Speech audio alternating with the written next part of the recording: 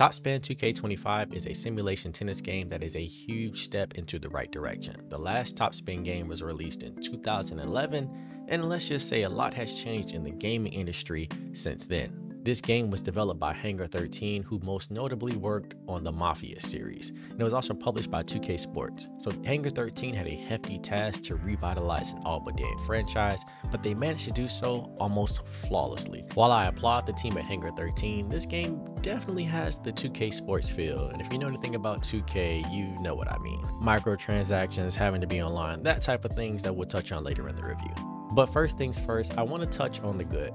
Topspin 2K25 is absolutely beautiful both audio and visual wise.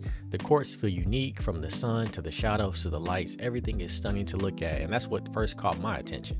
Audio wise, Topspin is equally as impressive. The sound of the rackets occasionally hitting the court or your shoes dragging across the dirt are great touches. I can tell a lot of care and attention and detail went into this game, making us feel immersed in the world of tennis, all the way down to the tiny things like the PA system in other countries speaking different languages.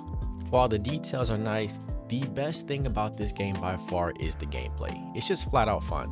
This is coming from a casual fan who only ever enjoyed Mario Tennis or Wii Sports Tennis growing up. I'm the furthest thing from an expert on tennis, but I can't seem to put this game down. For starters, there's an in-depth tutorial that helps you understand the basics and the mechanics and the general tennis movement, and the controls are simple and easy to learn. Anyone can pick this game up and play. This is truly where this game shines.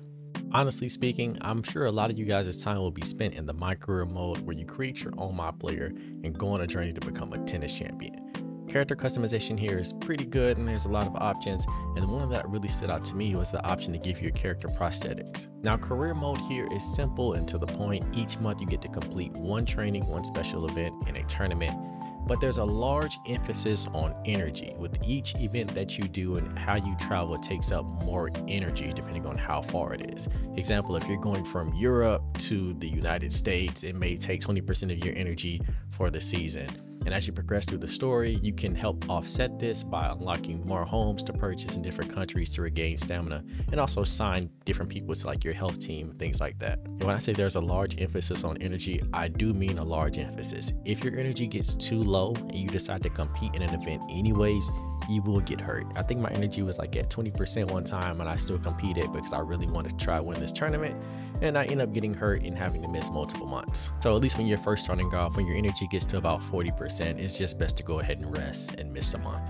The My Career mode does extend to online play as well. For better or for worse, there is a World Tour mode which allows you to play in online tournaments with your My Player against other opponents.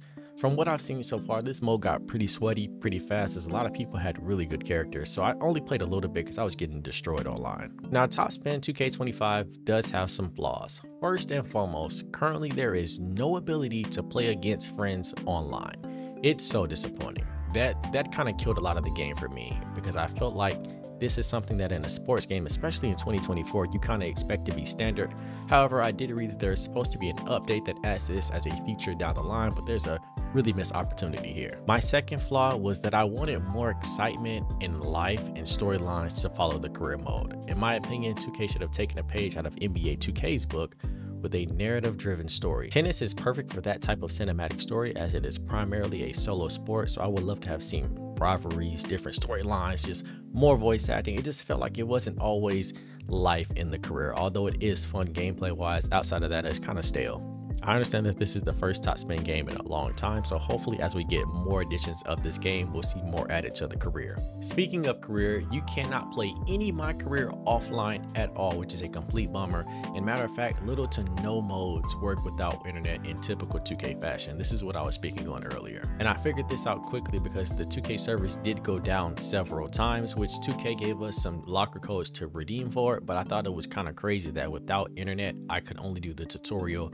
or a simple exhibition. Now, a big complaint that I've been seeing from tennis fans is that the roster in this game feels a little light. Currently, there are only 25 playable characters, with notable names such as Rafael Nadal and Novak Djokovic missing. Hopefully, maybe these can be added with like a future update or some DLCs, and lastly, for those wondering, there are microtransactions in this game. 2K has become known for these over the last few years. However, I'm happy to report that they are not nearly as bad as they are in NBA 2K and aren't forced on us whatsoever as simply playing the game gives us VC.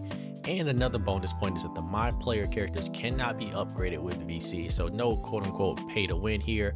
Only way to update your character is to actually play the game. You cannot cheat your way or buy your way to the top. So what is the verdict? All in all, Top Spin 2K25 is a huge step into the right direction. Despite a few flaws, the gameplay is extremely fun. I encourage anyone to try this game, yes, even if you are not a tennis fan, and who knows, you may become addicted like me. Last but not least, shout out to 2K and Hangar 13 for doing a phenomenal job with this game and bringing back the tennis franchise. Here at Level 1 Gaming, we had a great time with this title and look forward to playing more in the future.